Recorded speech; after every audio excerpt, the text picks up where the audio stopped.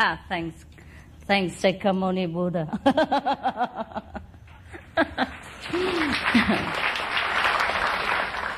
and maybe the one in the middle there, I don't know what's her name.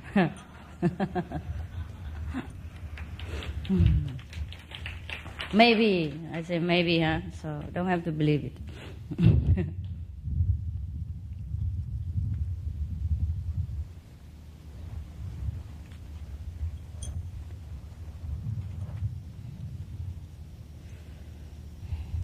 Did you have a good uh, rest? Good uh, meal? And good meditation?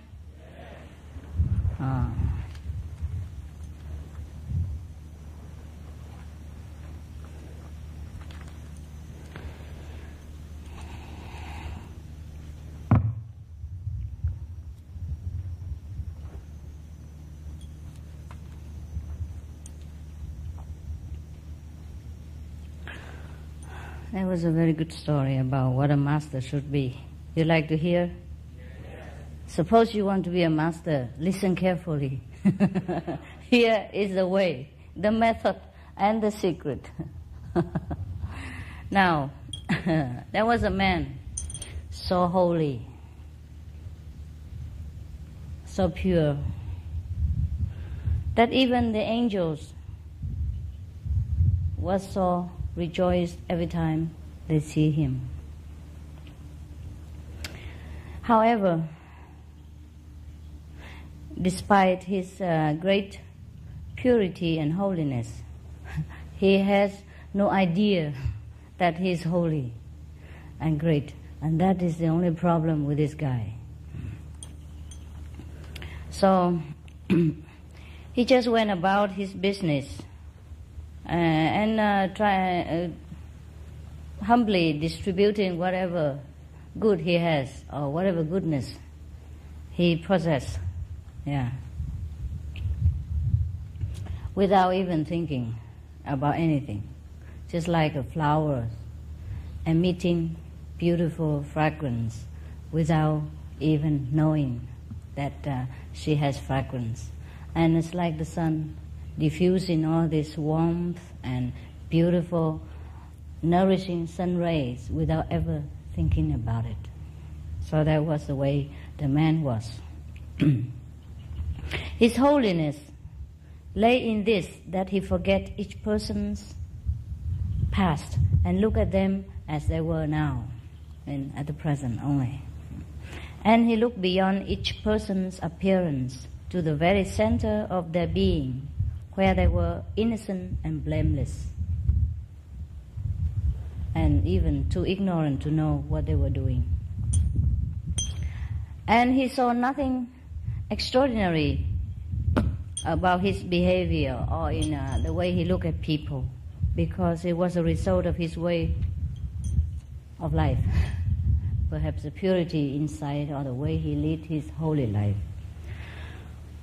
So one day the angel came to him and said, We have been sent by God, and uh, God have uh, bestowed upon you favors that whatever you wish will be given to you. So ask now. So the, the holy man was uh, very speechless and was at a loss of what to wish for. Stupid man, huh? If it were you, huh? if it were me too, huh? what could we all wish? Huh? like a better meditation hall, perhaps. at least, at least, so it doesn't leak when it rains, and then we don't have to move our holy cushion from one place to another and get scolded and that. and then what else could we wish for?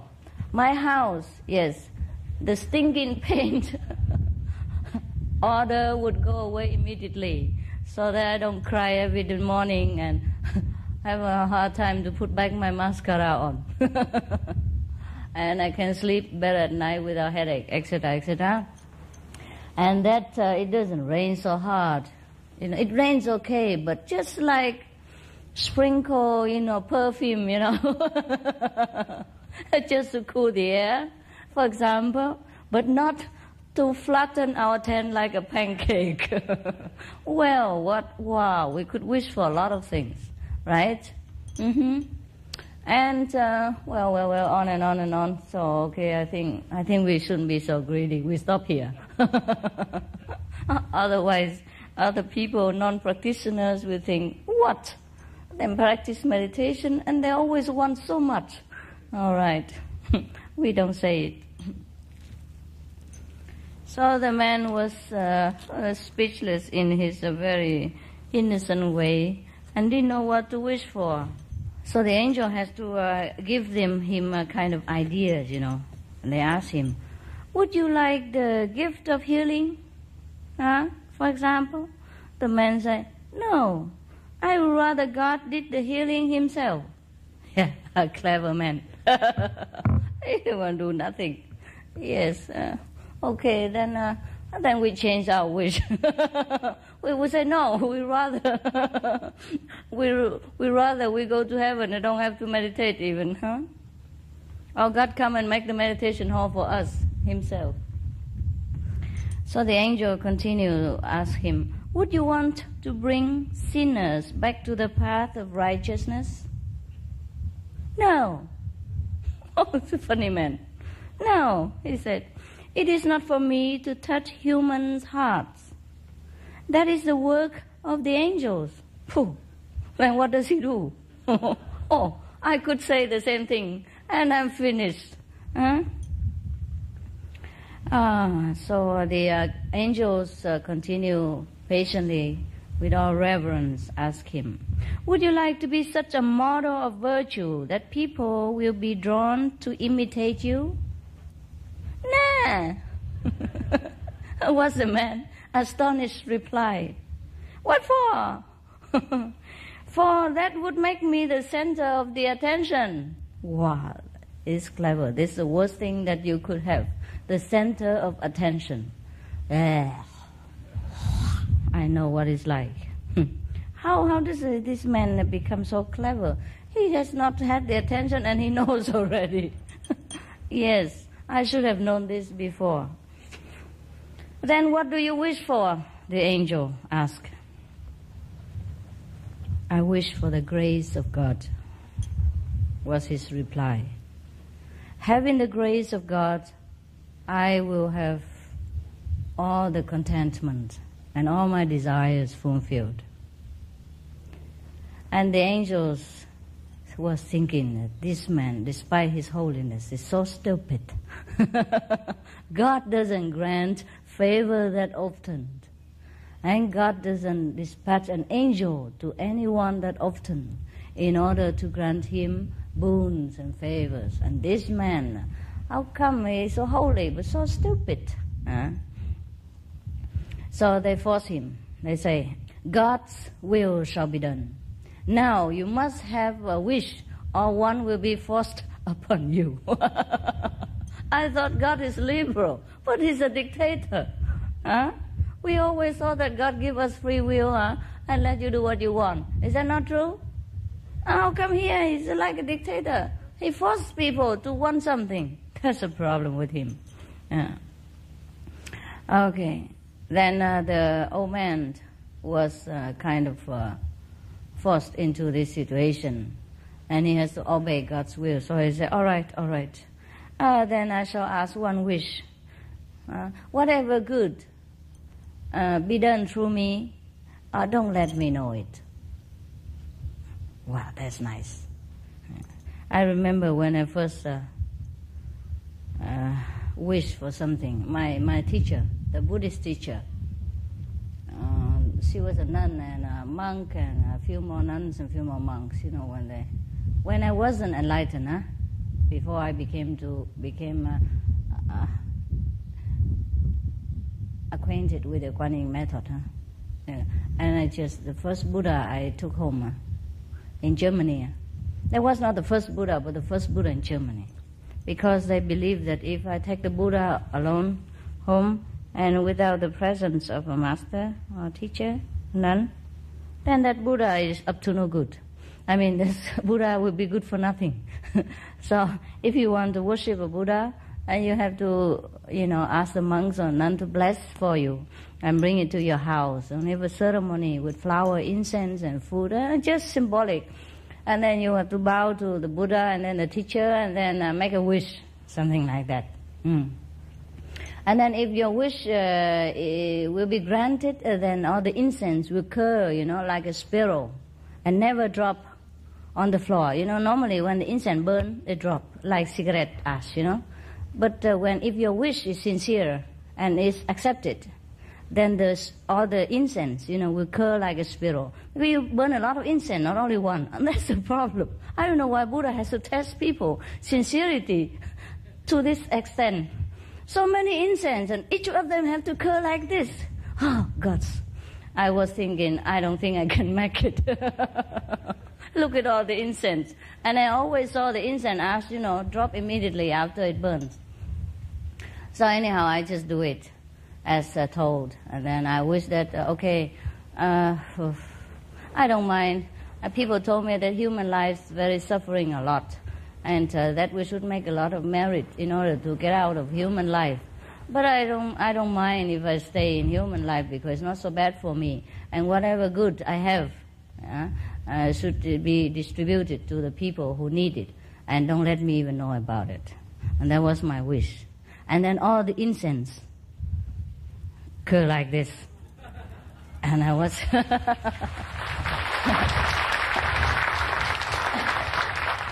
and I I was thinking my teachers, you know, they bought a special incense for me. That was for sure. special one already curled. already curled in advance. oh, you're not the spiral incense, huh? the incense stick very straight, and they have to curl by themselves with the ash, you know?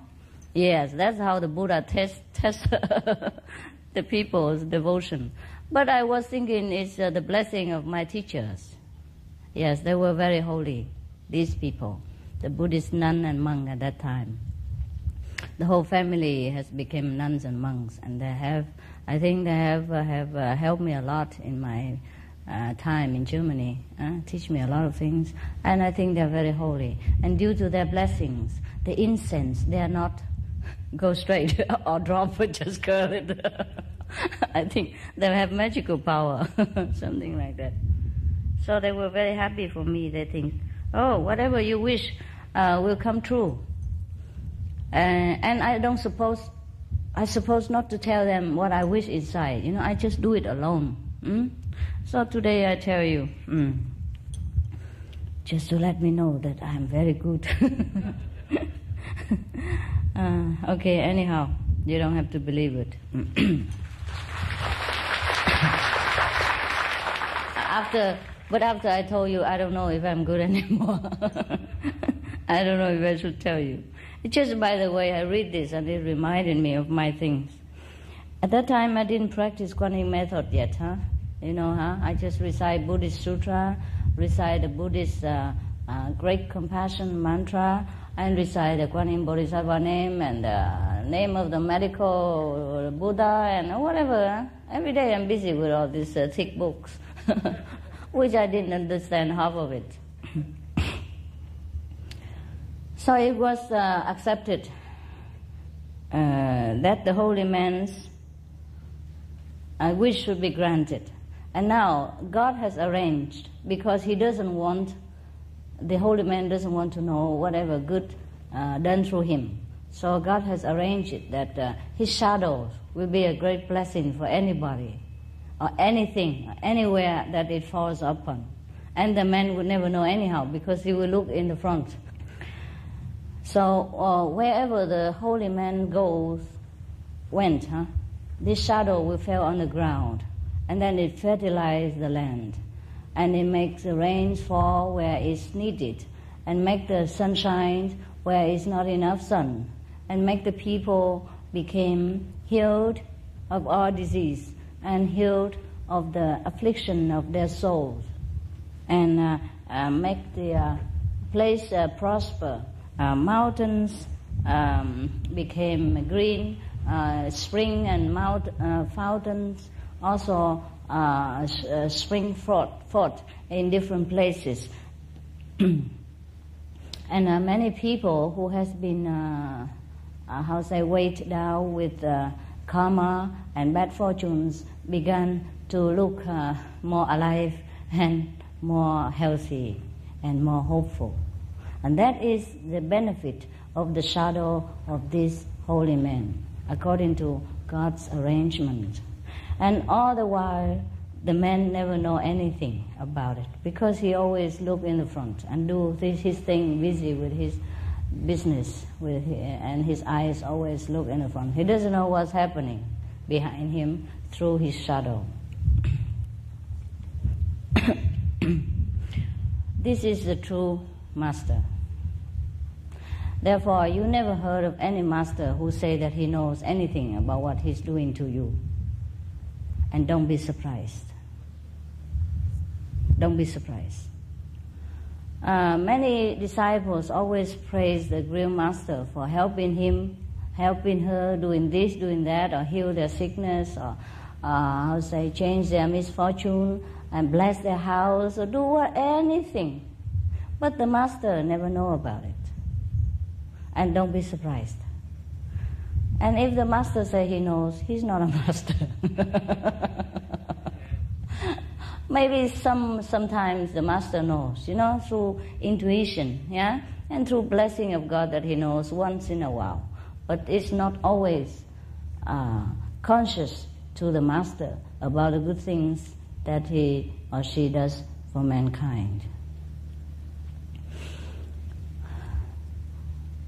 Also, um, in the Buddhism, the Buddha say, uh, the one who say he's a Buddha, he is not a Buddha. That doesn't mean that after Buddhahood, you cannot say that you have attained a Buddhahood. You may say so, but that doesn't mean that you are very, very aware about it. You know what I mean? That you do something about it. Because Buddhahood has no definition. Truly, uh, if we say we attain something, that is not yet. In the Diamond Sutra, the Buddhas emphasized again, again, and again that there's nothing to attain.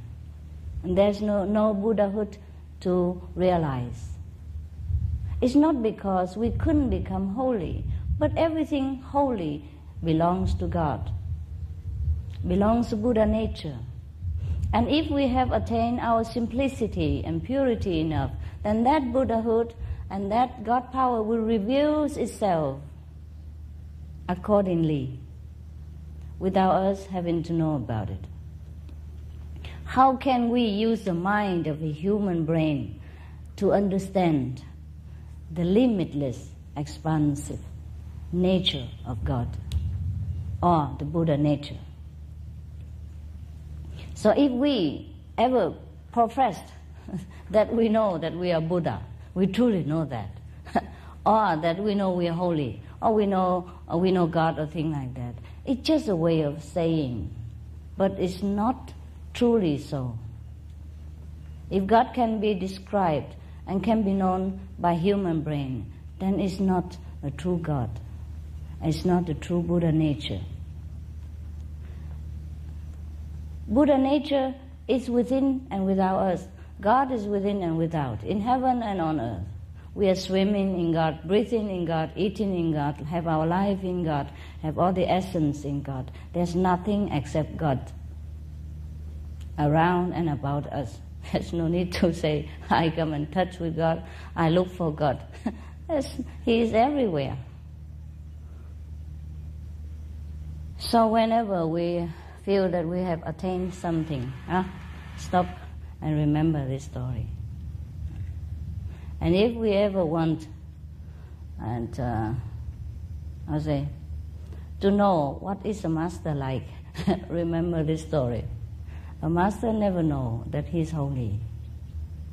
Doesn't matter what he act or what he like, or sometimes he admit it or whatever, whatever it is for the sake of sentient beings, or just for the sake of just to, to, to get it over with. because they keep asking all the time. So then people say, okay, okay, I'm a Buddha, so what? what, what next? something like that. People sometimes they insist, you know, for you to admit that you are something in order to argue around. Just like uh, sometimes, you know, uh, you come on the bus, you know, sit there, and then somebody will next to you or opposite you keep looking at you all the time and say, Are you American? For example, like that, huh? And then you say, No, I'm not. And she say, But I'm sure you are American. and they say, Certainly not, ma'am. And then she keep continue looking at you and say, But you look like. yeah, and then just admit it, won't you? You can just tell me you're American. It's free here. So finally, you're fed up. You say, okay, I'm American. and then she keep looking at you again and said, well, at the second thought, you don't look like American. How about that? yeah, yeah, yeah. Yes. When I first came out into the world, and have contact with human's brain. I was on and on about the blessing of Buddha's power and the Kuan method and all that, yeah, according to their request. And then they keep insisting to me that you, I have to tell them that I'm a Buddha. I said, well, there's no need to say that. And I don't even know if I'm a Buddha. But they say, you are the Buddha. You must tell us. You know, like the Sakyamuni say, I'm the Buddha, you know, the one and only thing like that. You should say the same. And they keep insisting, pressing me oh, on. After a while, I say, okay, I'm a Buddha now. and then they say, but when I remember Buddha Sutra, Diamond Sutra, they say, when the one who knows he's a Buddha, he's not a Buddha. no, no, no, you tell me. oh, we cannot win, huh? So,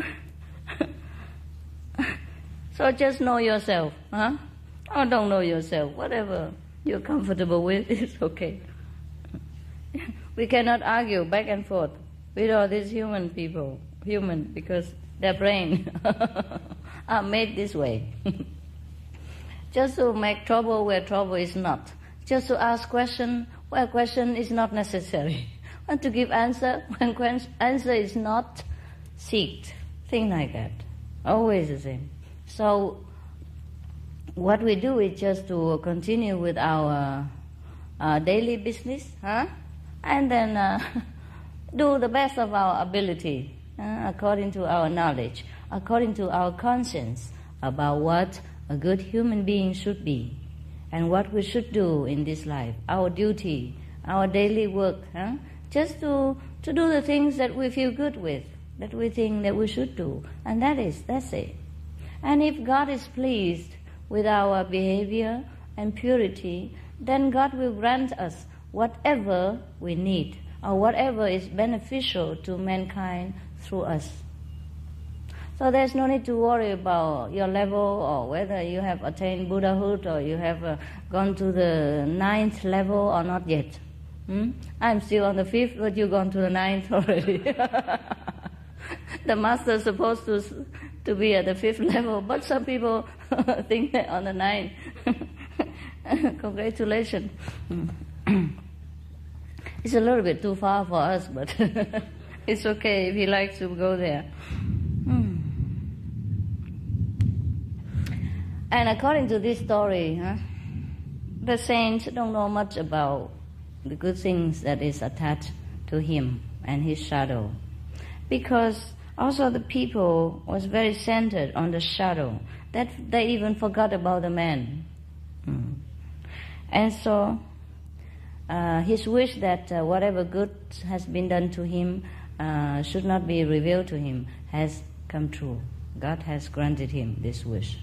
And this is exactly what the master is according to my humble knowledge and opinion and experience so if you want to ask me what the master is like, he's like this man. Nothing more. Whatever good's done. Okay, okay, come on. I need it. I need your encouragement so I, so I can go on and think that I'm good. and holy. wow, isn't that beautiful, our surrounding now? I just come look and wow, you're praising, I have a time to look. Isn't that beautiful? Huh? Yes. Ah, okay. If you ever want to know what the master is like, huh? Or thank the master for anything, it's not necessary really, because it's God power who is doing all this.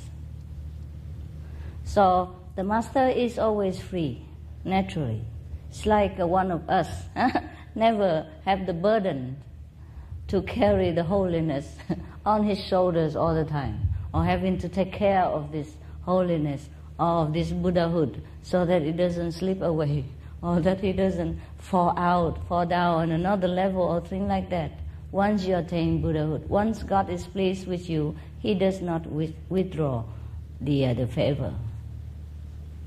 So He will continue to have this all His life without even know about it. What for should we know? If we do good to mankind, what for should we know about it? It's mankind who are benefited. So that's the main, pro- the main, the main uh, important thing, huh? because we want to benefit people. So if they get the benefit, doesn't matter where from or how it's done. Many of the, not many master on earth, but some of the master that I met, the true master, they are like that very, very humble and, and very ordinary. They, they don't really know their supremacy inside. They don't know their holiness. Maybe they love people, they bless people according to their wish, but they don't feel themselves is the blesser. Do you understand that or not? Yes. Maybe they act like a master because people expect it, just like the lady keep asking you American, are you? and then finally you say, so yes. Just okay, okay, why not? Keep uh, refusing all the time, make so much trouble. So you, the master is like that. Just act accordingly so that everyone is pleased and happy, and just to make things simple. Hmm? Otherwise, the master never think, never feel that he or she is a master. That's why I don't have problem integrating with you. But you have problem integrating with me because you always carry a master in your head. And I don't carry any disciple at all in my mind. I look at you as one of a person. That's why I don't like it when you're too over humble and you overacting as you love me so much, respect me too much, whatever. I, don't feel natural. Uh, recently, I know a person. And I say, oh, you can be my friend, no problem. And for me, no problem. But for him, it's a problem. because he always thinks I'm a master. I say, I never think of you as a disciple. So something like that, you know? So it has never any ob- obstacle or obstructions or frontier in the beginning. But you always have problem being my friends. And that's why I don't have friends because you put me too high and you put me separately. And that is why we have problem communicating with each other. And that's why you always misunderstood what I tell you often. And that's why you don't do the thing I requested. Because you think whatever do for me must be very special, extra special, whatever it is, and then it turns out terrible. Because you do it with the ego, with the way you think, not the way it should be done. That's why everything done for me is a mess. Always, never the way I want it. Simple and logical and common sense. They have to make so big deal about everything, and that I end up suffer. For example, the house, you know, uh, it's just temporary house. Okay, just put the wood together, yeah, that I have a space and I put my things protected from the rain. That's it. Yeah? Because it's uh, quickly done and it might not live again later. So why have to paperwork and paint and all that make me suffer every day? Just because you think it should be done that way. I didn't request. I just request my thing put in there for me. That's all. I know that the, the, the place is temporary. I don't have it painted color or paper wall. or Nothing is not necessary. All the paint when it's new, you know, is poison And I have to suffer like this for at least a week or eight, ten days because of your good intention that, that often pave the road to hell. Mm. This is very impossible. That's why to be a master is such a difficult job, huh? And such a suffering position because people heap upon you their own opinions about what a master should be, what a master should have, what a master should like, what a master should live. Thus, therefore, the master it become like a prisoner in your hearts. And when it's so many hearts put together, the master is finished. The worst criminal have only one solitary cell. Is a solitary cell. but a master have thousands, hundred thousand, millions of solitary cells to live in. Do you understand? Because our mind is very narrow and limited. The love in our heart is a human made. So the master have to stay there, you know, and do what the way we think. Otherwise, we give the master hell. Hmm. Like uh, you don't expect the master to do this, you don't expect the master to wear that, you don't expect the master to speak like this, and da da da da da da. And you give this uh, rejecting uh, and uh, refusing atmosphere to the master every time in your heart. And that's how you make a master a prisoner in your frame, in your narrow walls of your mind. And that's how the master have to suffer.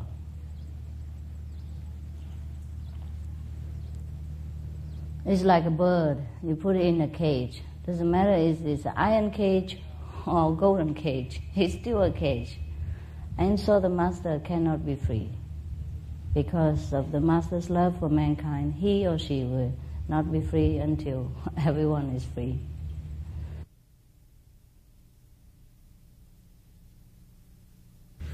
Well, it's no problem. Just so to let you know what it is like. Uh, because you always ask me what is like to be a master? And what would the master feel like? Or how is it? What made of what is a master made of? The master is made of simplicity just like every of us. Just because we complicate our life that's therefore we cannot be one with the, uh, the universe, and God cannot uh, contact us. Huh? We build walls of uh, prejudice or prejudice. I never get this. Prejudice, yes. We, walls with prejudice of uh, religious expectation, of uh, social behavior pattern, anything, anything to separate ourselves from the natural way of life. And that's why we could not become a master. Originally, everyone could. So as long as we still occupy ourselves with such thing as, uh, you know, what other people think or what a master should be like, we can never be one. Just drop every ideas, yeah? Be as a child, and then you will know what it's like. But it's better still that you don't know people and you don't go out teaching. You don't lecture and all that because then you're finished. people will surround you with all kind of trouble, all kind of walls and frames. That is very difficult to move in your life. You still can try, but it's difficult and a lot of suffering mentally. Uh, inside, huh? Not the outside. Outside you don't see much. If some people cut your arms or bruise your legs, people see it and sympathy with you. But if it's bruised inside, very difficult. No one know. Hmm. Okay. A- any any special question you think of today? Hmm. Everyone's happy. ah, good. Me too.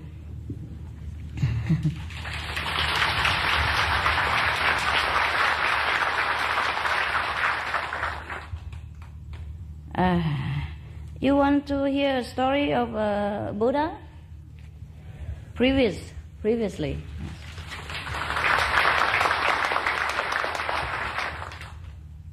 Now there's a golden monkey.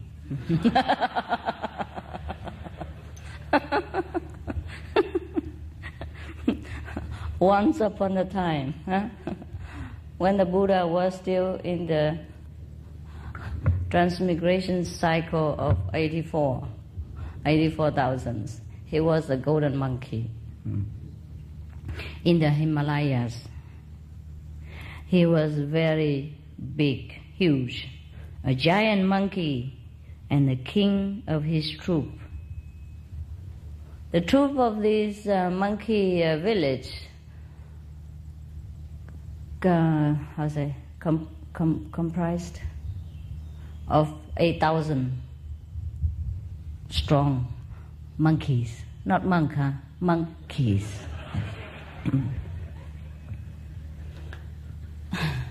they live in the forest by the side of the Ganges River.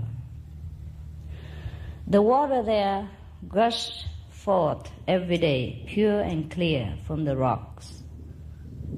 And uh, nearby there was a very beautiful, shady, great tree. In summertime, this tree bore enormous golden fruit.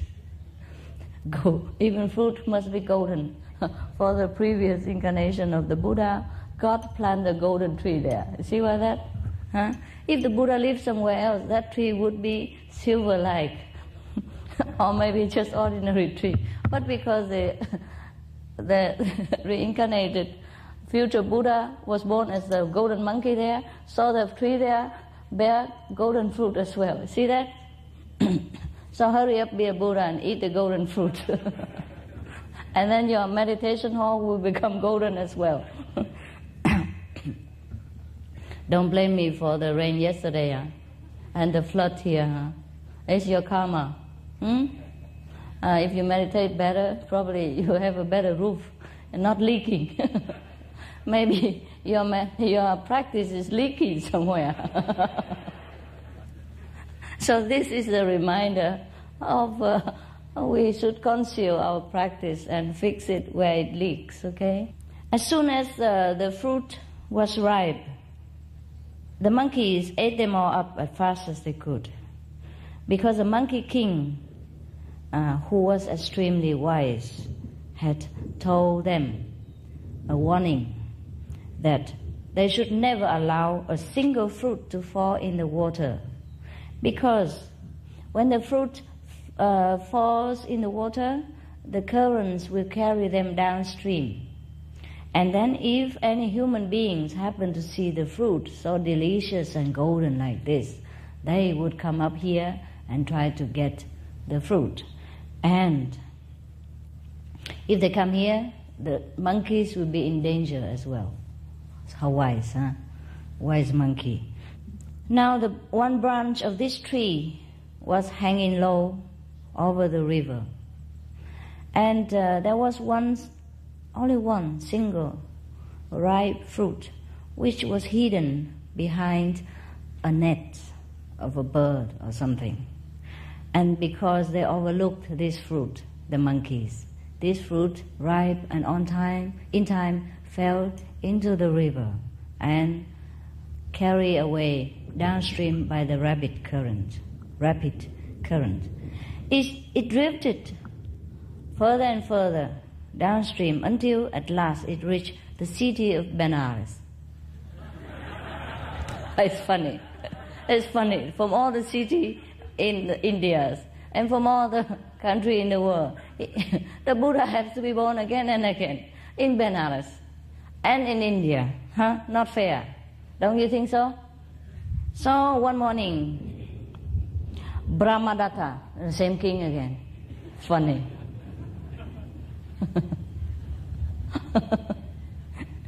the king of Benares.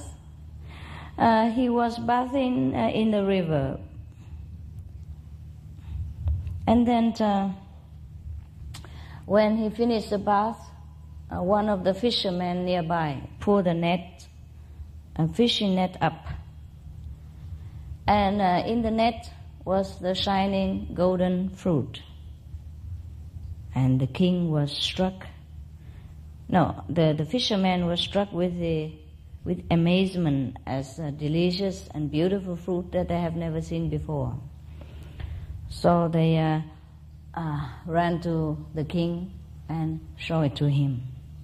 The king uh, looked at it curiously, and because he has never seen such a fruit before, so he asked them, What kind of glorious fruit, fruit is this? And the fishermen, who only knew how to catch fish, don't know anything better. They say, We do not know, sir.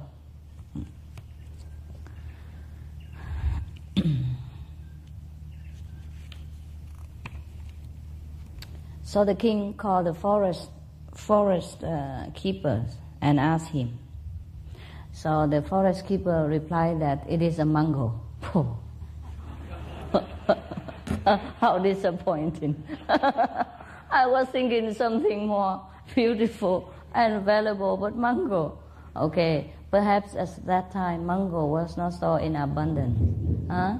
And not many people know what it's like. Actually, mango is delicious, no? Do you have mango here in your kitchen?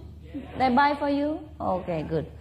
And when, when, when I was a child, huh, mango was one of my favorite because perhaps I was a monkey before.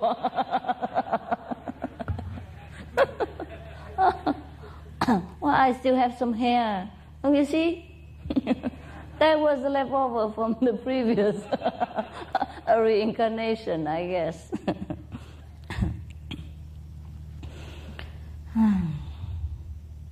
because we have a lot of mangoes now, huh? We planted even in the United States or even some of places in European, so we took it for granted. Otherwise, if we happen to live in a very old time, like Shakyamuni Buddha time before, huh? And then all the fruits were not so readily available because the farming techniques and uh, all this uh, mm, uh, cleverness to alter the the, the say the water and all the uh, fertilizer has not been available to mankind. So if uh, whatever we have fruit uh, whatever fruit we have is not always good, huh? and not so all kind of fruits like today we see in the market. Mm. Uh, thus, uh, this mango fruit has not been known to the king. And it's golden, huh? It's really golden. it looks like huh? Uh, the mango color. And it tastes delicious. I have not had my lunch yet. I feel water coming. mm. Uh, not even breakfast. Yeah. Have you had yours? How many meals you eat a day? Twice only? Is that enough for you? Okay, me too. I feel it's too much already. I'm feeling heavy and heavier now. Because I'm not used to eating two solid meals a day. I normally eat one and another very light or not at all. And now I'm eating twice a day, you know. Wow. It happened that some good cook is available. Oh, I'm feeling heavier, you know. and every time I walk on the stage, I have to be careful not to uh, not to damage the good work of the carpenters.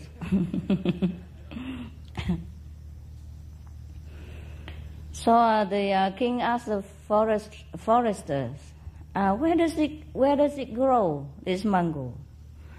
Uh, the forester replied, say, uh, Your Majesty, this fruit doesn't grow in our kingdom.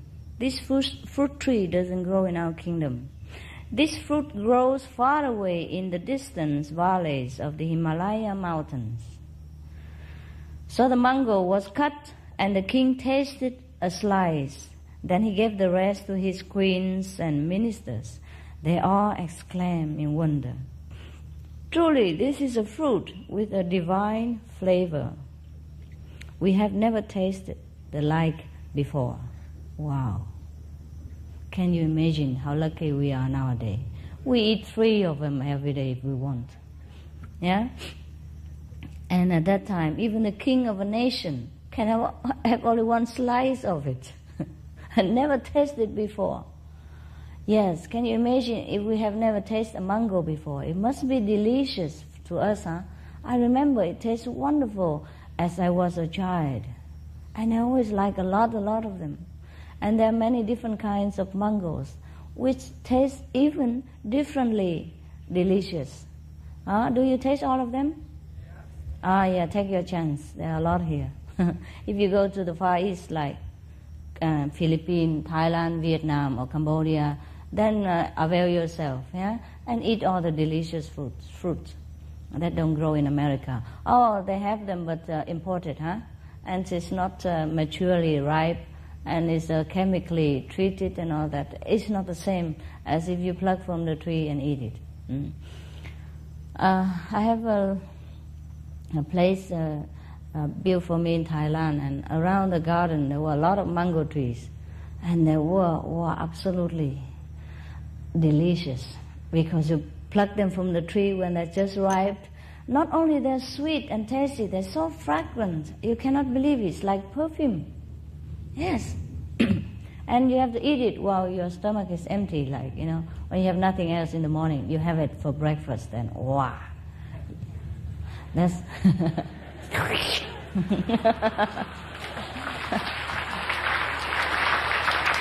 That's the reason why the, uh, uh, the, the, Occidental people would like to come to Thailand or uh, uh Eastern countries so much, huh? because the fruits are different and the vegetable even different while you're eating in that country. When imported or planted in another soil of a different continent, the taste will be different. Just like even ginseng, huh? the name is the same, but American ginseng is cheaper than Korean ginseng, and the effect of both are, are very, very different. You know, huh? Uh. So uh, after they ate the fruit, uh, the delicious golden mango, the king and uh, all the people who tasted it long for more. if they long for enlightenment this way, would be better.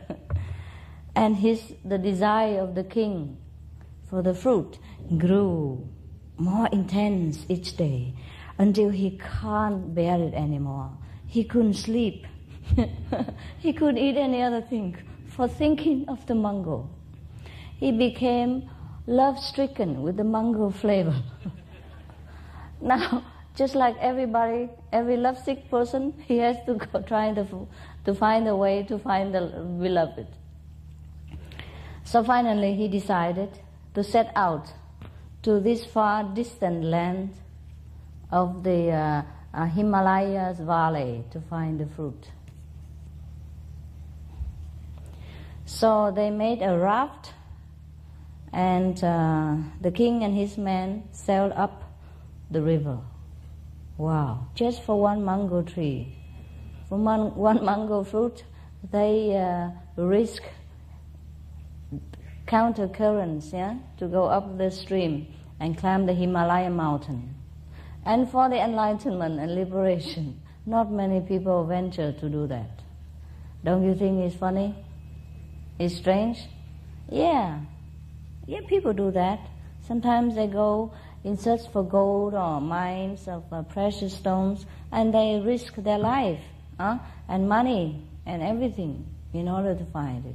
But the most precious stone laying within human's heart, people don't bother to find.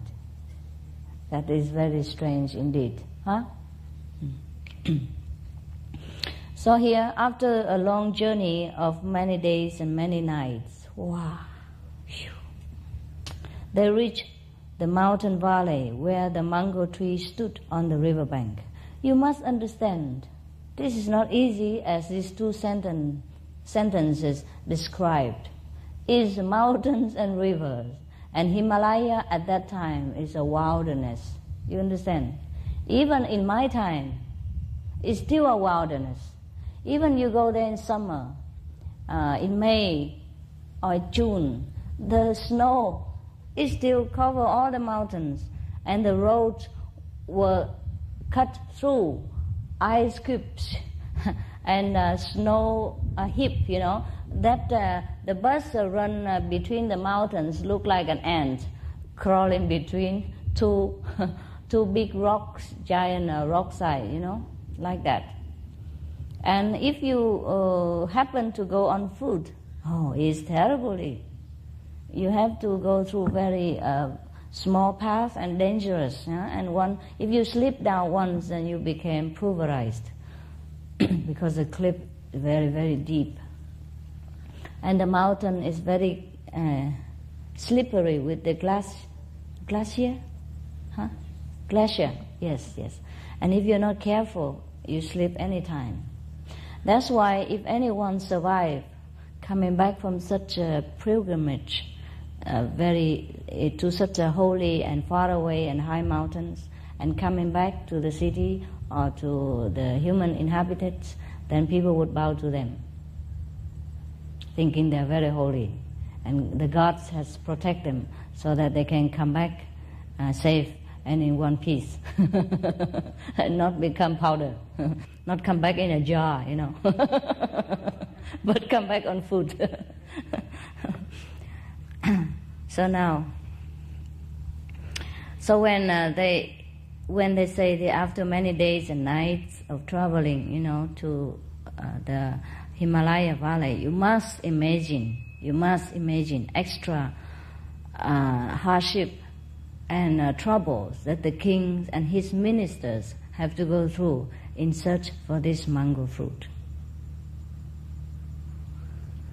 Uh, there is no uh, road, no paved road there, and even the horses cannot go in many places. So even if the king took the horses with him, he cannot ride.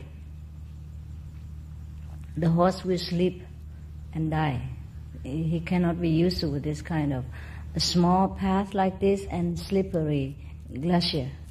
So it is very difficult places to go, the Himalaya, especially in such very holy places and remote areas where no human beings set foot, or they just set foot in summer um, for pilgrimage and nothing more. Only summer, a few months, two, three months. Huh? And winter, the road is all covered with snow, as high as mountains. Nobody can travel. And whoever live inside, they have to go out for summer, uh, for winter, and come back in summer. Only some of the army's unit will be uh, stationed there Uh, with their provisions, yeah, to last whole winter long. That's why many yogis and masters favor Himalayas. If you can take enough provision for yourselves to last the whole year, or at least in winter, you can stay there. You can dig a hole in the snow and keep yourself warm like the Eskimos people. And you can use a deer, deer skin for your clothing, and you can keep a glowing fire all day long. Then it's become warm in your cave.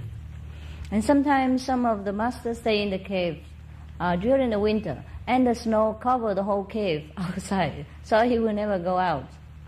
Just like uh, like um, Milarepa, he stayed there during the winter, and then he would uh, eat whatever available inside the caves, or you keep a provision. And in the Himalaya, you cannot have the provision the way you do in our kitchen. I'm sorry, I don't imagine. All you have is perhaps uh, dry uh, mung beans, yeah, or some kind of beans, and rice. And the water you will cook from the snow melted from your, in your pot on the fire. And that's it, huh? And some salt, perhaps. Or some, yeah, because mung beans is very nutritious. And this is a staple, staple food. Huh? Staple food of the uh, Indian people, especially for the Himalayan practitioners.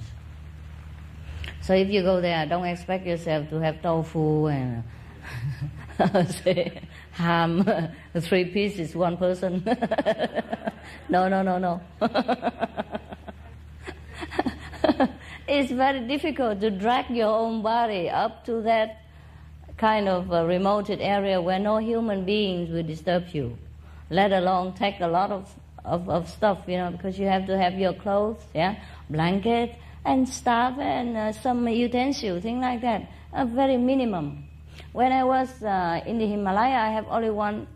First, I have a lot, you know, as every of you, I drag along a big suitcase, you know, spoon, fork, chopsticks, uh, chinaware, whatever from the kitchen, and a big sleeping bag and uh, a lot of clothes.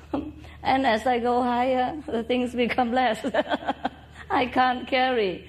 So finally, I was at the top of, not yet at the top of the Himalaya, but uh, in a middle way, with one sleeping bag, one uh, staff. Oh, is that right? The staff to walk with, with, the, with I carry the sleeping bag on top, and one pullover, very thin cashmere, very, very, very, very, very thin, you know, like paper, and two pairs of clothes, two pair of uh, white, just white clothes, the, the way, you know, the, they call it Punjab like, you know, like a tunic, yeah, long cover your behind your knees, and then the trousers, that's it, two. I wash one and wear one, that's it. Nothing else I can carry. And all the utensils, the, you know, stainless steel cups and silver spoon, whatever, uh, drop on the way. So I, I kept, originally I kept two, and, and one spoon, one fork, but later on it become only one. You know, first one, uh, one like, uh, like, do you have like uh, the cup, steel cup, huh? Mm, for drinking water and tea and all that. And another plate like this, huh? A little bit thick, huh? To cook chapatis and have rice and food and vegetable, yeah? But later on, I dropped that cup also, and the forks. and then I have to have that dish alone for tea, for rice, for chapati, for cooking, for water, whatever it is. Because it's become heavier and heavier, you cannot imagine. So I have only one pair of uh, sport shoes, two pair of socks, and two pair of very thin cotton uh, clothes. That's it and two pair of underwear, of course. Don't hope. Very thin too. Nothing else I can carry, yeah? Because I, I can't afford uh, people to carry me on, on their back. Also, I don't like that. I don't like that. I don't believe going on pilgrimage and other people have to carry you. what kind of marriage? so I was determined to make the God moved, you know, with my piousness. So I walk on foot. But many Indian people, they went on horses, where, as far as the horses can go. Or have people carry on their back or carry with the, uh, how say, what they call it, kind of chair? Sedan chair? No. Sequin? Huh? Sedan chair? Yeah? Four people carry and four side and you sit in the middle? Yes, yes, yes. So many people, when they see me walking around like that alone, they think I'm very holy. yes, my clothes become holy with the time. many holes. and my shoes have many holes too. So I consider myself as not very, yes, it's some, somewhat very holy. and because I walk alone with only one thin pair of clothes, you know, on, they think I'm very holy to withstand all this cold because they bundle themselves with blanket on horseback and they have a thick pullover and all that. But I have only cotton, you know, like pajama like, yeah, that's a walking. But it's very decent. I make it like Chinese uh, color here, yeah, very decent and long. So when I walk like this, people think I was a very holy person, but actually it's not. When you walk, you sweat. How can you get cold? so I was sweating because the road is very difficult. It's not uh, so, I would say, flat like here. And it's not paved with stone. Huh? You have to climb sometime on the rocks and then avoid pitfall and avoid slippery rocks. And all the road is not uh, made for for high heel. and have to, to wear one pair of, uh, of uh, sports shoes only. And, and even that, you know, the, the snow, the cold with water will soak, soak in, soak in your, your shoes. And so when I arrive somewhere, my feet are very swollen and, and stiff. And if you don't have a fire somewhere to warm yourself, then uh, it stay like that for many days and very hurt and I also don't have a fire. But when I see some people make fire somewhere, I just sit behind and, and air my clothes like this. and it's okay. I still survive, no problem. Hmm. Why I talk so much about that? Okay, okay. Just to let you know, uh, it's truly like that in Himalaya, huh? It's not just they say, oh, many days, many night journey, and then they arrived. it's not that easy because uh, during the journey you don't have a tea tea houses or restaurants or nothing like that. You have to bring everything with you. So you can only bring flour and salt to make chapatis and then eat uh, that with the Ganges water. That would be the best for you. Then you don't have to bring a lot of things. Because uh, if you are such a small person like me, uh, you can't even carry mung beans. It's too heavy. And in the Himalaya, it's very difficult to cook mung beans, you know. The, the, the atmosphere is very thin somehow. And you cook all day long, it doesn't boil.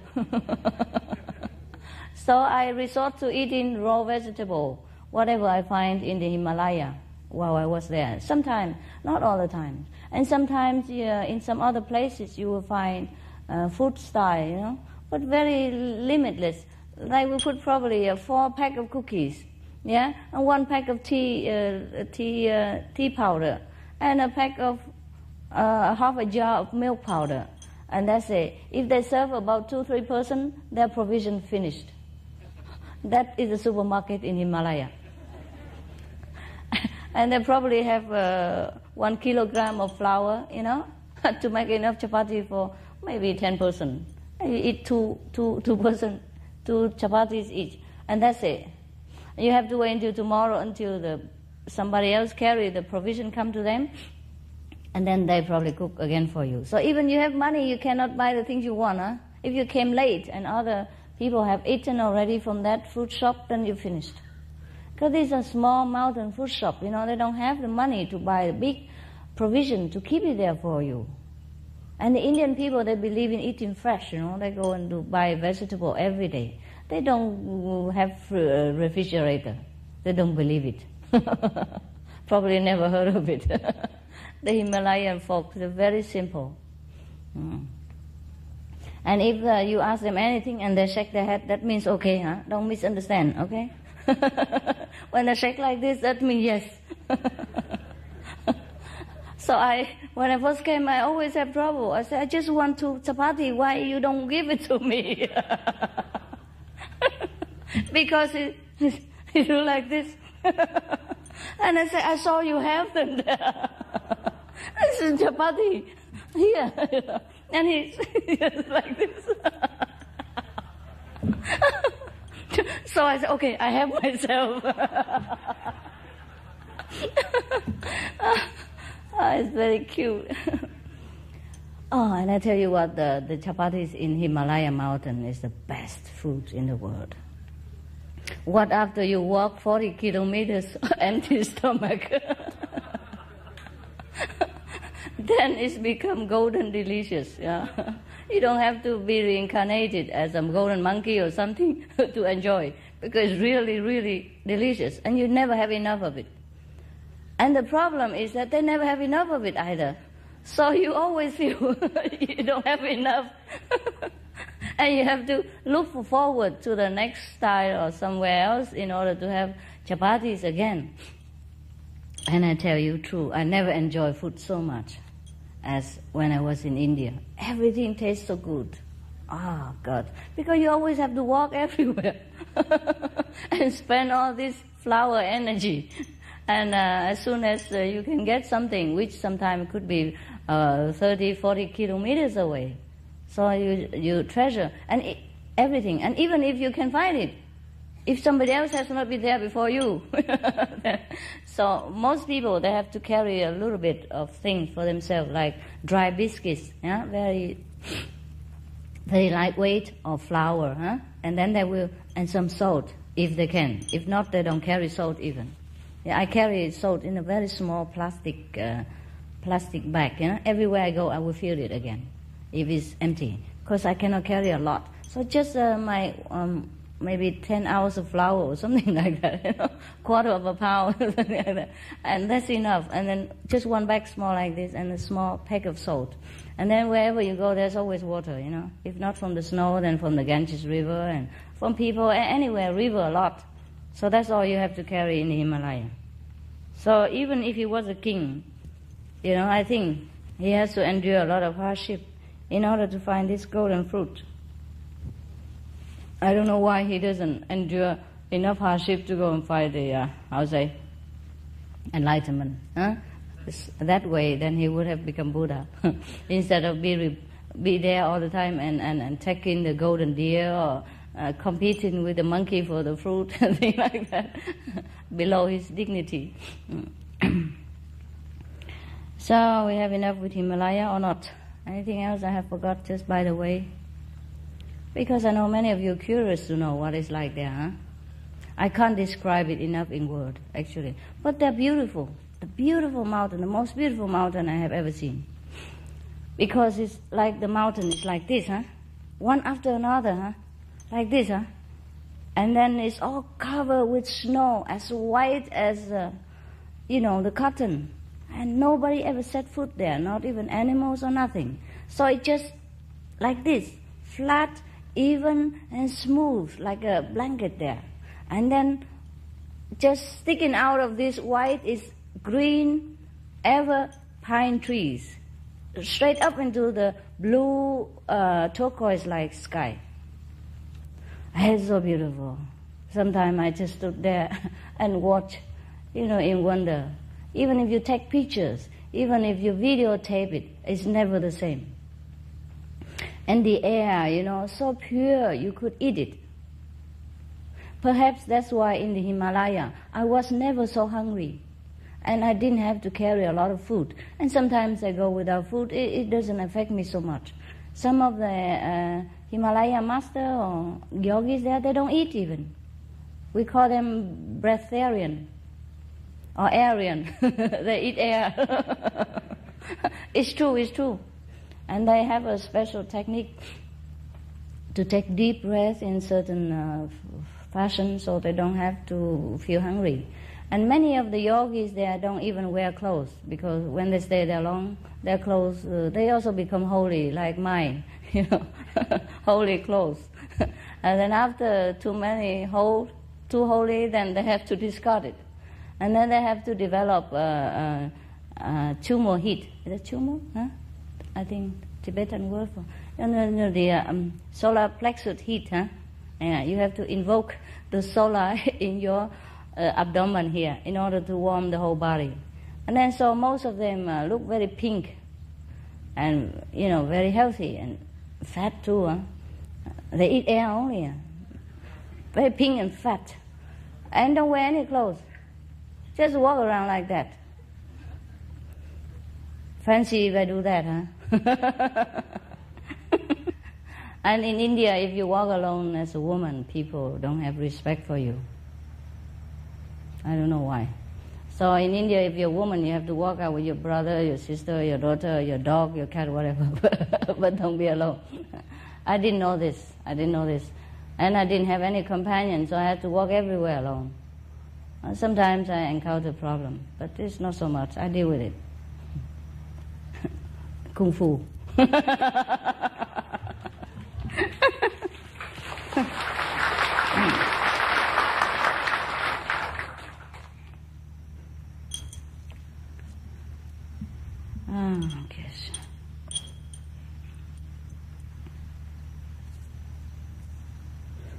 So, okay, let's go back to. Um,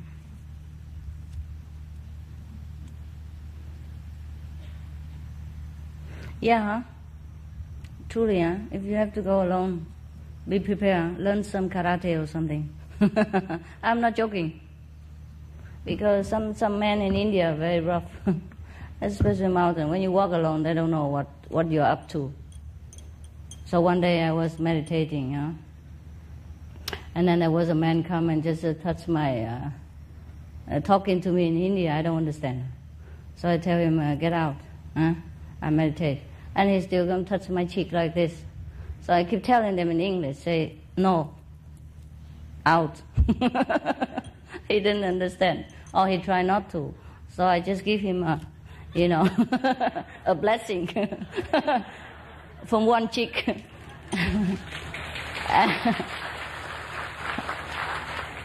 just an ordinary kung fu, you know, fluff like this. And then he still was hanging around, so I give him another. Or Jesus say, if you, if a man,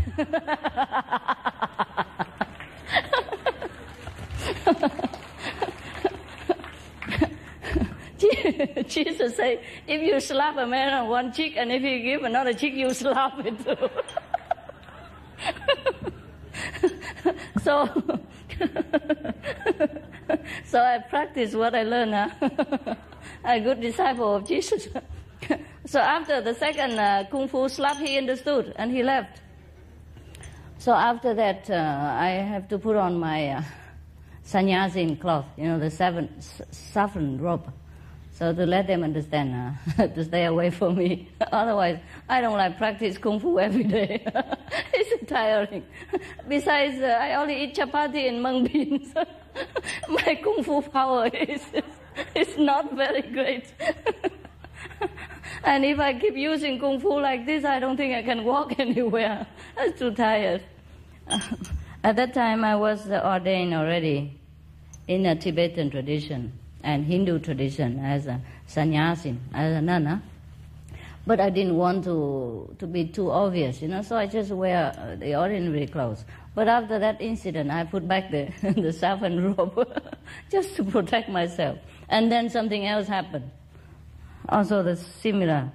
And then people flock around me and ask me to come to their home so that they can feed me and help, give me offering and all things like that. Ah, but then, so you don't have this and you have that. you never uh, are free in India if you walk alone. So you better don't walk alone, okay? I don't know why everywhere I go, people flock around me like that. And this is, that was one man only, huh? But the other people, you know, they come around and ask me to talk to them and uh, thinking I'm a holy person and things like that. And one of uh, uh, mother, Indian mother, she lived in Bombay. She was on pilgrimage with her family and sons and daughter, and she wanted to to to me to marry her son. her son was twenty something, just graduated uh, as a lawyer, and she told me like that. I told her I could be his mother. it was so cute. Uh, so if you walk alone, you run into all sorts of trouble, you know. Unless you want to marry a lawyer like that, then, then you continue. I didn't know all this, you know. I thought, okay, India is a free place. Uh, you go anywhere you want. Besides, in the West, or even in Vietnam, Cambodia, anywhere you walk alone as a woman, no problem. Huh? I never thought that in India, walking alone as a woman would bring so much problem. Oh, no end. People always come to me and ask this and that and other, either respectfully or this kind of. Uh, kung fu expectation. I think that's it, huh? And mosquitoes. Hmm? In the Himalaya, not, but in some of the places, also holy like Benares. Wow, mosquito, so big. You would think, you would think airplane is landing on your body.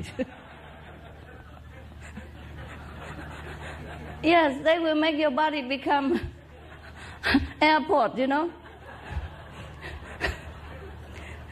They keep landing one after another different hours, not on schedule at all.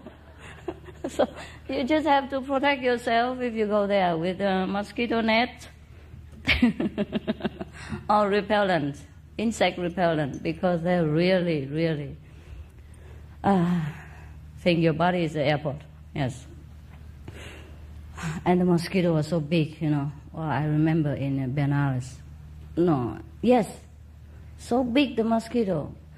It looked like a mini chicken, you know. Terrible. well, I'm very small, so everything looks big to me.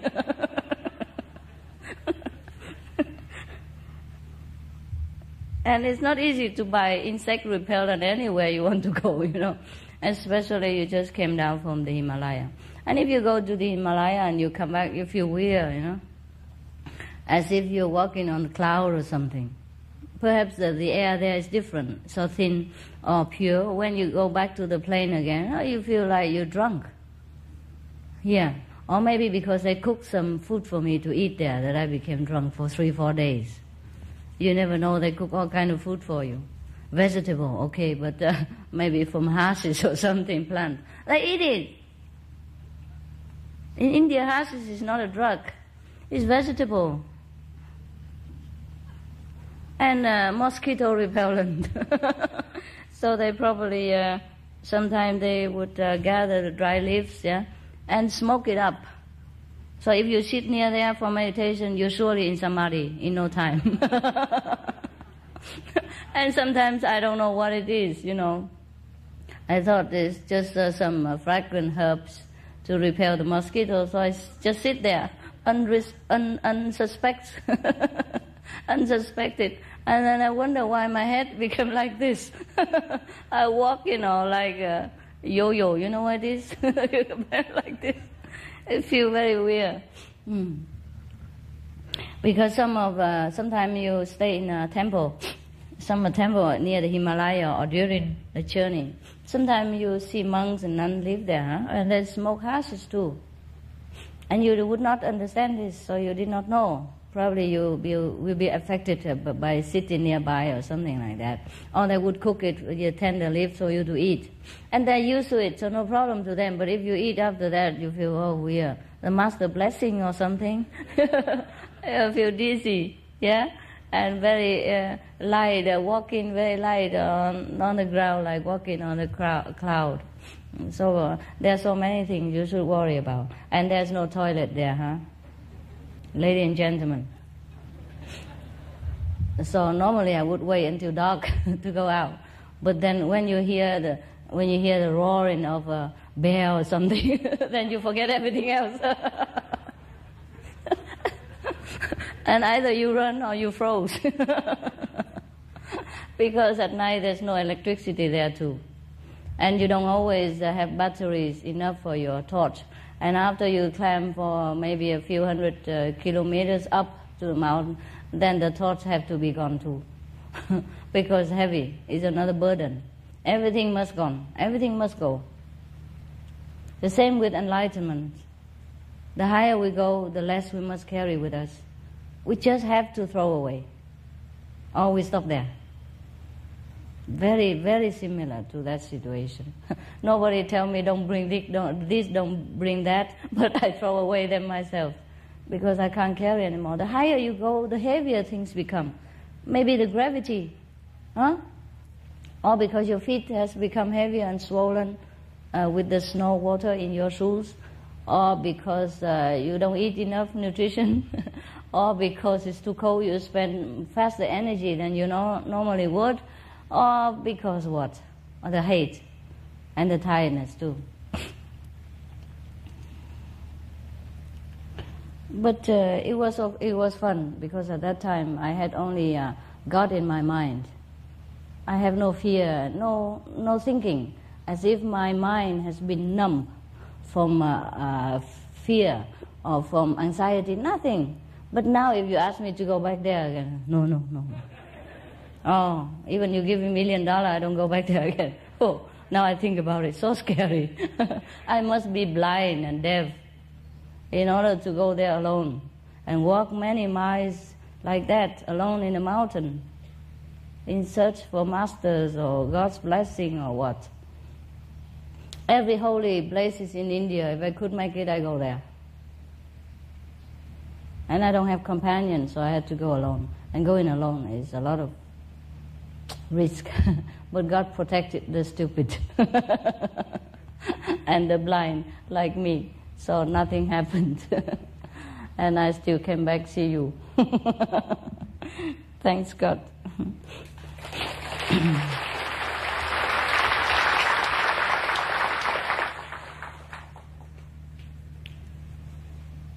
so if you complain about a tent here, huh?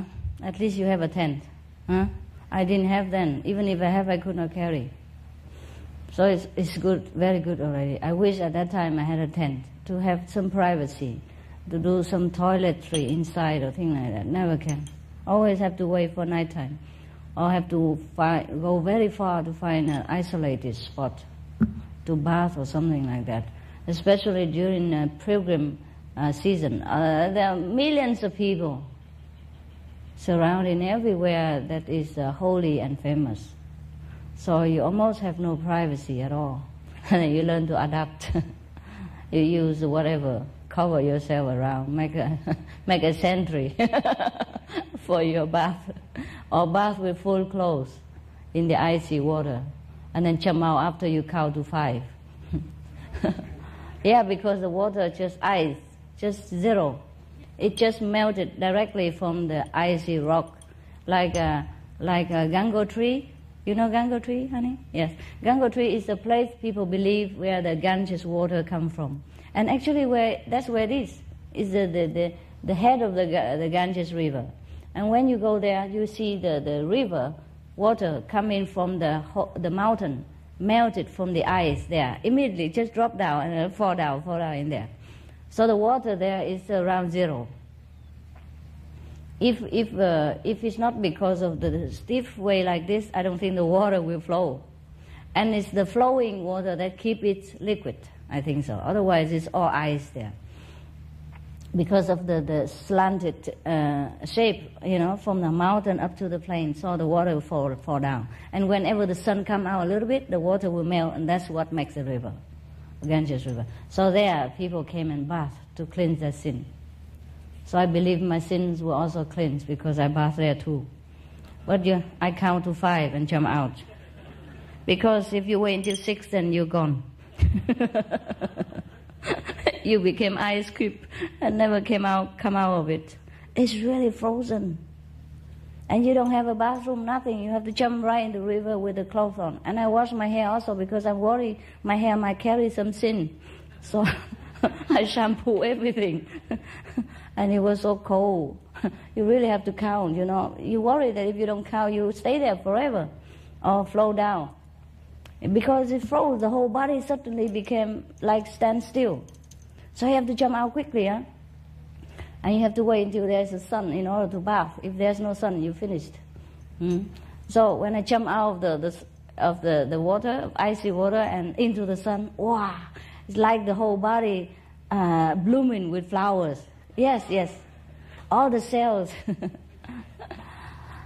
ah, you feel feel great. So I did it again three more times.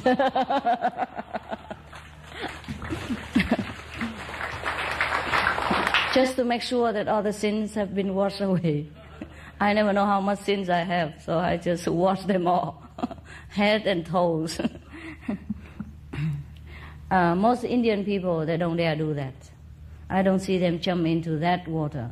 They probably do that uh, downstream where it's warm in the plain, you know, like Haridwar or Benares, uh, where it's warmer in the plain down there, but not in, on the top of the Himalaya mountain where the origin where the, the Ganges uh, River originates because it's, it's really cold there.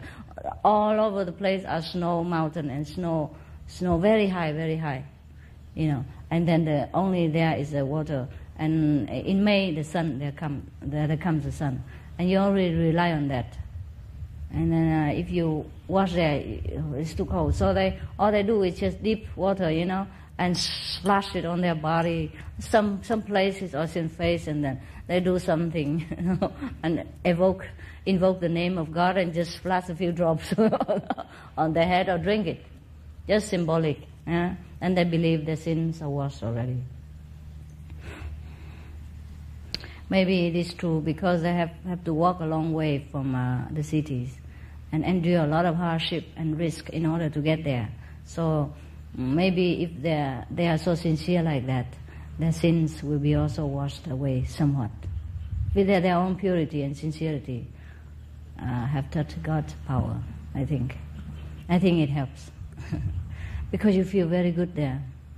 At least in the Himalaya, there's no con- contamination of thought. When you're there, you feel pure and blissful.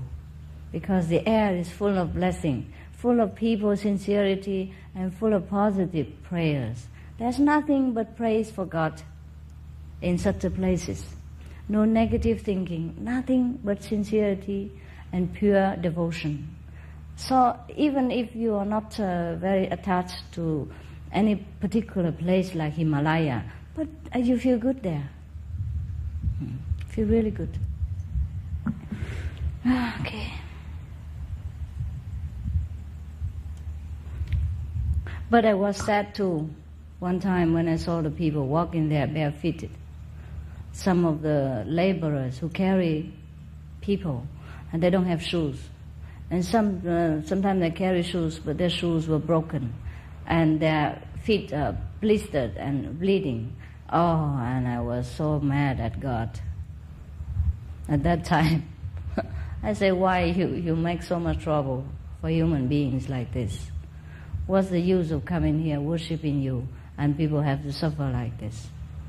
And I was really uh, very hurt, you know. So I walked down the mountain crying. And then uh, I was crying. And then when I came to down the hill and there was a monk who uh, pitched his tent there. They, they, Indian tent are very simple, just a, just a roof with a plastic sheet. That's it, made by the branches nearby. And they put a plastic sheet on it. And then they make a fire in the corner, and they put a blanket in the corner, and they put a Shiva or whatever image on that bed, and on top of the bed, and that's it. That's their tent. And during pilgrim season, many monks would pitch their tent like that, uh, hut, huh? The, the hut, hut, yeah, their hut uh, along the, the pilgrimage road. So the pilgrim people would give give them alms, yeah, money or whatever, and then they buy necessity. And uh, the, the fire will keep them warm, and uh, the mosquito don't grow there because it's too cold, and uh, so like that. They live like that. So when I went down the mountain crying, and I, I saw a monk uh, in his hut, so I stopped by and give him some alms, like everybody else, some money. And he said, "Oh, where are you going?" and all that. We're talking, and I said, "Well, I went to uh, just now. I went to uh, uh, I don't know somewhere else, not Gangotri, somewhere else. It's also as holy and famous uh, to the Indian uh, pilgrim. Uh, trees, or something like that. Yes. I was crying and I coming down. And he said, Why are you crying like that? He called me child. oh, child, why you crying like that? He speak uh, in a Indian language, you know. Child, why are you crying like that? so I told him the reason. I told him that I nearly lost my faith in God because he seems to uh, uh, make so much trouble for people for my brothers and sisters. I see them walking in the ice, very slippery ice, and bare feet like this, or bleeding feet, and try to earn some money from the pilgrim. And I don't like what I saw. And I, I wonder why God is so cruel like this at that time, you know. so the monk said, I say, why, uh, why people pray to God and He doesn't come to them? So he said, only one sentence. He said, God comes only at the last minute. and up to now, I still don't understand what he's talking about. but that uh, comforted me, huh? And then he explained to me that, oh, you don't know. These people are not ordinary people, huh? They vow to come down as laborers to carry people to God. And that's very good for them. You should not feel sorry. And then I was enlightened. oh, I feel good. I feel very good. And I said, how about the horses? the horses also endure so much hardship to carry people to such and such a holy shrine. He said, why, yes, these are also holy beings. They incarnated as horses. oh, he was very positive. And then he said, no, come sit down, my child, have some food. Yeah, and he gave me some prasad, you know, blessed food, sweet, you know, and I was very happy because I have some sweet, and it's okay. and so after I, I uh, pay uh, respect to him, I just went down the mountain and felt better. And then uh, when I went down into the temple, and I, they also treated me so nice, and uh, and later they give me an ordina- ordination name in Hindu. Um, what? Mandakini? Mandakini Giri, something like that. There's a river called Mandakini. Huh? Mandakini. Yes, yes, yes, yes. Because I was, uh, I was there near the river Mandakini, sitting there. Uh, and there was temple monks inside. And later they, they ordained me into Hindu. give me a name called Mandakini. Mandakini is my name, and Giri is their uh, traditional lineage. Came from whatever Giri, I don't know. Must be a very great monk, uh, you know. The lineage is called Giri. Hmm?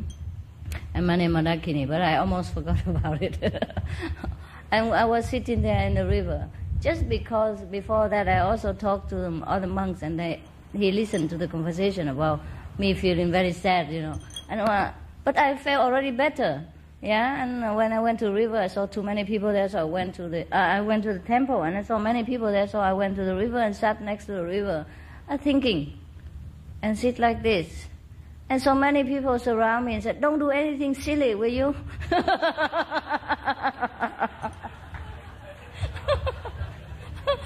I was thinking of God and meditating, you know, but because I sit next to the river on top of a stone, you know, very deep place there, deep water, so they surround me, don't leave me.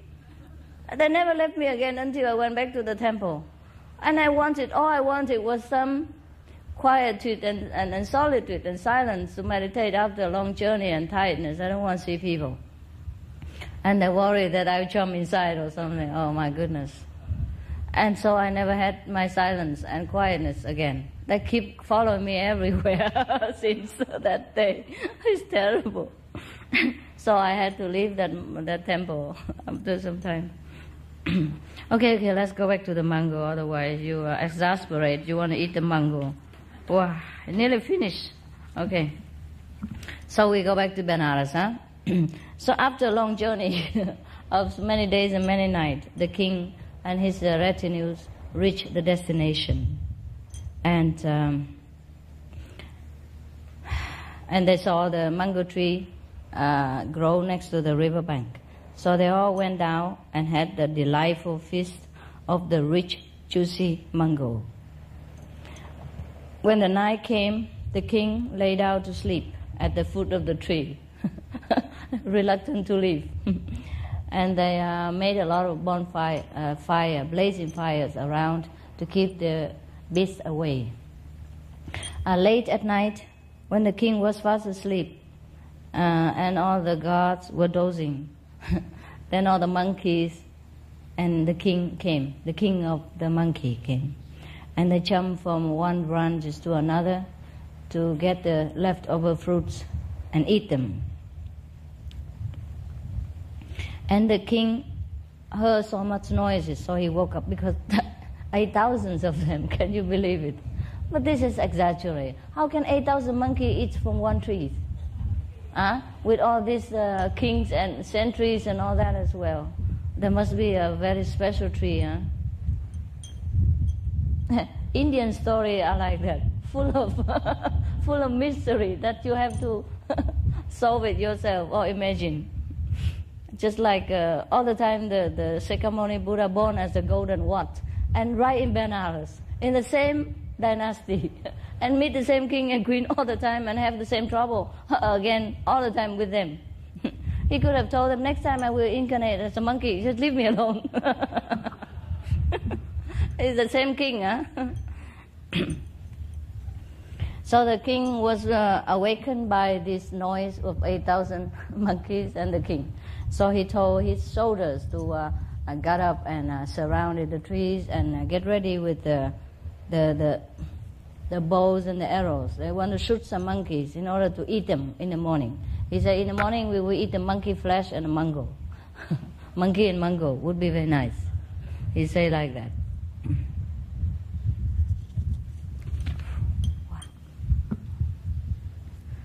So the monkeys overheard the king's uh, words and trembling with fear, they went to the chief, you know, the king, king of the monkey. And they said, Oh, sir, you have warned us. But uh, um, because we didn't know there was one fruit or, uh, which has fallen into the river and carried down the stream. And now the strange man come here to get the fruit and the leader even want to eat our flesh. So they order his archers to shoot us. Uh, the tree is surrounded and we cannot escape. What are we to do? So the king monkey say, "Do not be afraid.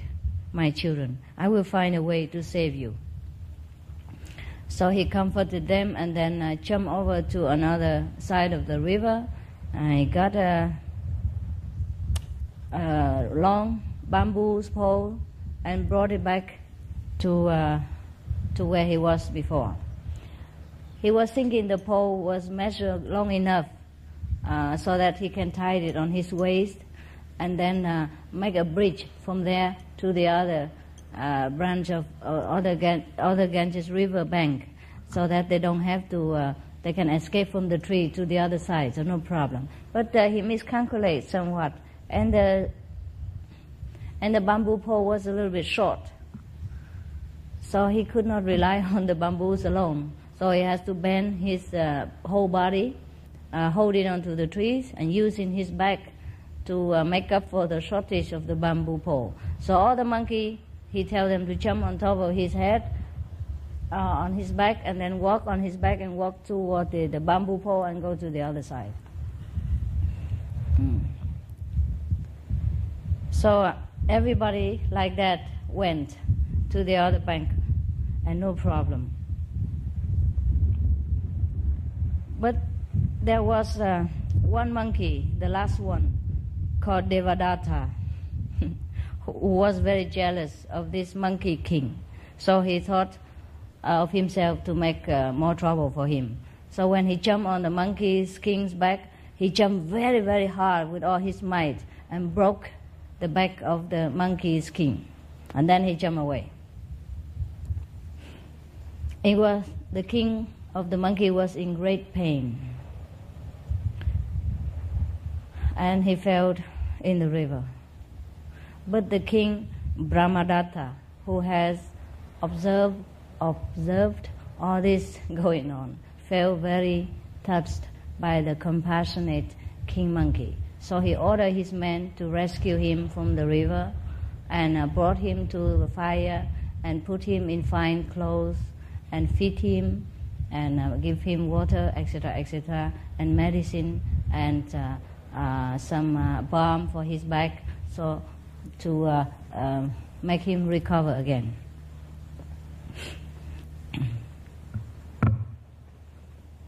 And then he will ask him when the chief of the monkey uh, regained consciousness. You made a bridge of your body for the monkeys to cross. In doing so, you have given your life. What are you to them? And what are they to you, a great monkey? The dying monkey replied, Oh, your majesty, they were my children, and I was their chief and guide. They loved and trusted me. I do not grieve to leave this world because I have gained my subjects' freedom. If you would rule well, remember that the happiness and welfare of your people must always come first. Saying this, the monkey chief closed his eyes and died peacefully. King Brahmadatta ordered that the dead monkey be given the funeral honors of a king. A shrine was erected at the place uh, of uh, cremation. Torches were burnt there, and offering of incense and flowers were made. When the king returned to Benares, he built another shrine in honor of the monkey chief and commanded all his subjects to pay homage to the memory of so brave an animal. All his life he remembered the last words of the monkey chief and ruled his people wisely and well. Finished.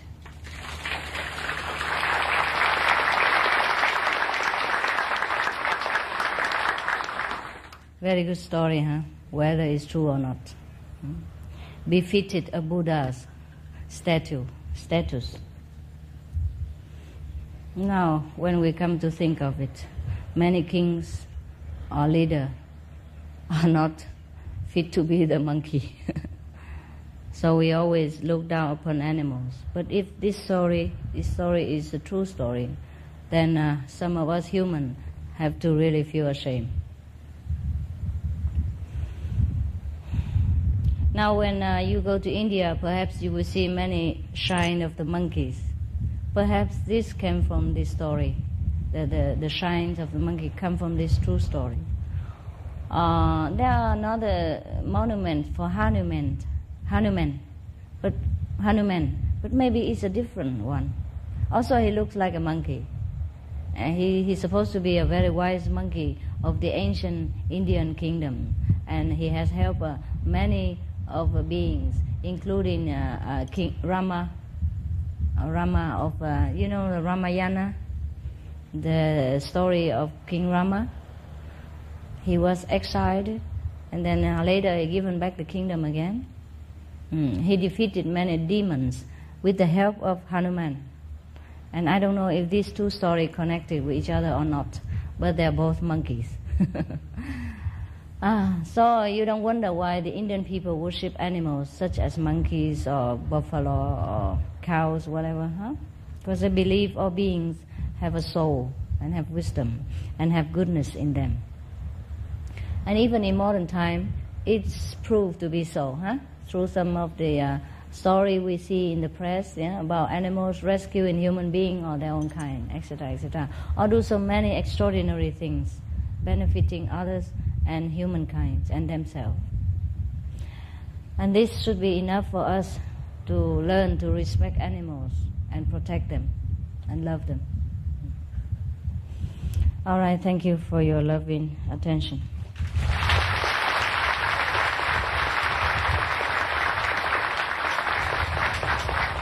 Now pretend to meditate for 20 minutes until lunchtime, oh, dinner time.